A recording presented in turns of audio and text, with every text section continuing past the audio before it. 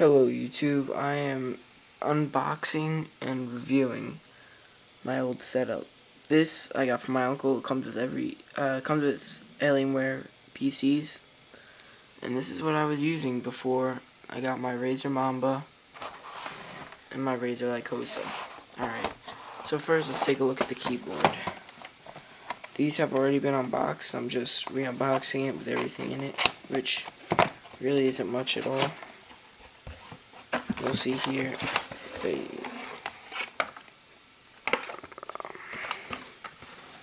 the boxing is very plain. It just tells you a little information about it and tells you what's what's good with it. Um give you some more details on the back. The specs on the back which there aren't very many it's just a regular keyboard Alright, so now, let's take a quick look at this keyboard. This keyboard, you'll see on the back,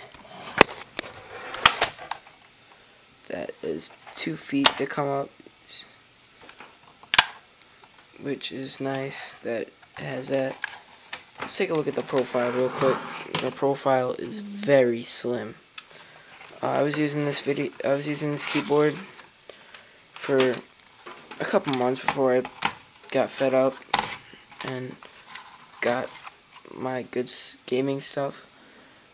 Uh, all in all, this is a pretty good keyboard. It comes free, so you know. It doesn't have any like anti-ghosting like the Lycosa or anything. It's just a normal keyboard. But the one problem I did notice about this keyboard is the buttons got stuck sometimes. That is very bad. It might have just been this because it was thrown around a little before I got it.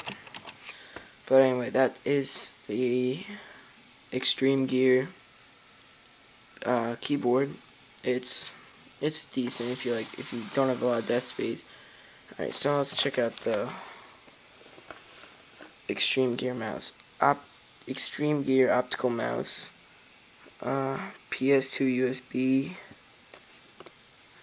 Um, it tells you a little bit about it. Right here in very small text, it tells you some specs. It's not bad. It's an 800 CPI, which is equivalent to DPI. Now let's check out the back of the box.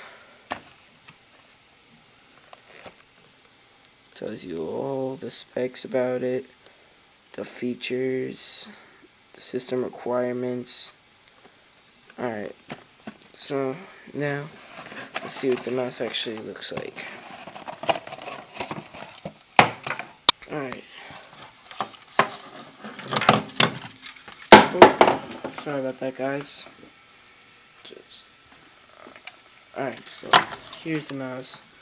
The first thing I noticed about this mouse is the cable. The USB cable is extremely thin.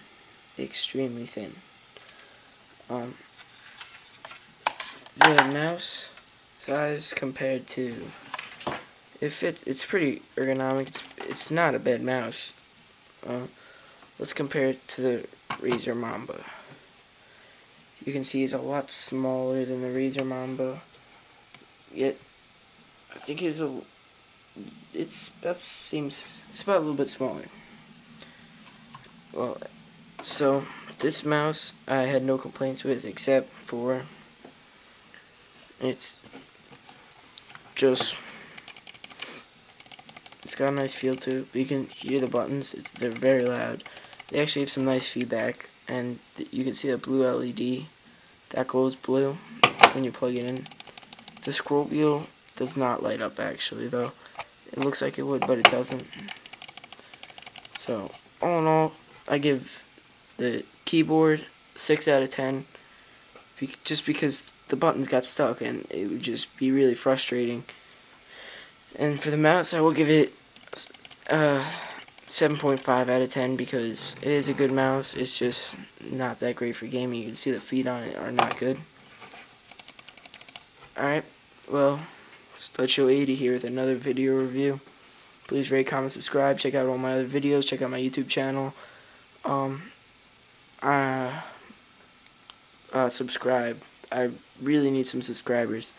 You know, I'm coming out with a lot of videos lately, and if you want to know what's going on, just comment, subscribe, message me saying what you want me to review. I ha I have a little bit of cash, so I could go out and buy some stuff. Alright, see you later.